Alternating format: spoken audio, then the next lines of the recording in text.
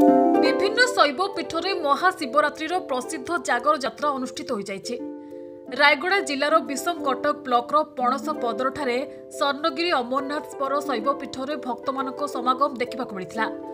ଗତ ଦୁଇ ବର୍ଷ ହେଲା କରୋନା ମହାମାରୀ ମଧ୍ୟରେ ଭଗବାନ ମହାଦେବଙ୍କୁ ଦର୍ଶନ କରିପାରିନଥିଲେ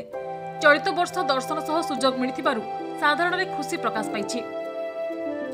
ବିଷମ କଟକ ବ୍ଲକର ଝିଗିଡ଼ି ପଞ୍ଚାୟତର পণসপদর গ্রামর সুবর্ণগিরি পাহাড় শিখরে বিরাজিত অমরনাথ গুম্ফা প্রভু শ্রীরাম সীতা দরবার অনন্ত শয়ন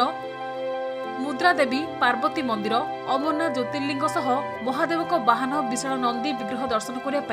অনেক ভক্ত সুবর্ণগিরি শিখরে পৌঁছি ভক্তগণ পর্বত শিখরে উঠিবা পরে শহ শহ পাহাচ চড়ি ভক্ত মানে উপরক যাই প্রসিদ্ধ শৈবপীঠ মান্যতা দেবার উদ্যম তা আজ মহান করেছে ରାୟଗଡ଼ା ଜିଲ୍ଲାର ସମସ୍ତ ଅଞ୍ଚଳର ଲୋକମାନେ ଆସି ହଜାର ହଜାର ଭକ୍ତ ଦର୍ଶନ କରିଥିଲେ ପଣସପତର ସ୍ୱର୍ଣ୍ଣଗିରି ପାହାଡ଼ଠାରେ ସାର୍ ଆଜି ଯେଉଁ ମହାଶିବରାତ୍ରି ଯେଉଁ ଆରମ୍ଭ ହୋଇଛି ପଣସପତରଠାରେ ଆଜି କ'ଣ କହିବେ ସାର୍ ଆଜ୍ଞା ଏଠି ତ ଆଜି ବିଗତ ଚଉଦ ବର୍ଷ ହେଇଯାଇଛି ଚାଲୁଛି କ'ଣ କହିବାର ଅଛି ଏଇସବୁ ଦେଖିଲେ ବହୁତ ଖୁସି ଲାଗୁଛି और भगवान को कहूँ भगवान और मत शक्ति दंडों की और अधिका सुविधा अधिका मैं बनई पारे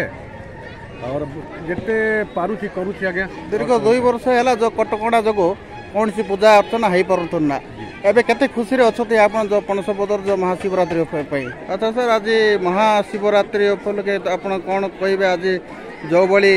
लोक भक्त मैंने आसुंच पणस पदर हाँ ए विषय आप कौन कह आज देखो प्रथम तो मुझे कहना चाहिए कि ये जगार ना है स्वर्णगिरी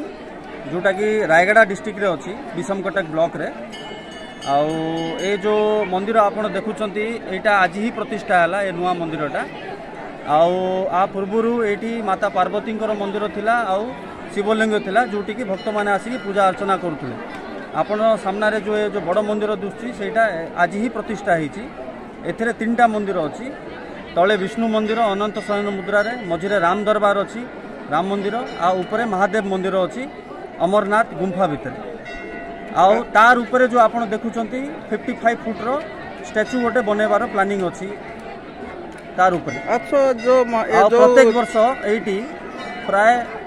ମତଲବ ଦଶରୁ ପନ୍ଦର ହଜାର ଭକ୍ତମାନଙ୍କର ଶ୍ରଦ୍ଧାଳୁମାନଙ୍କର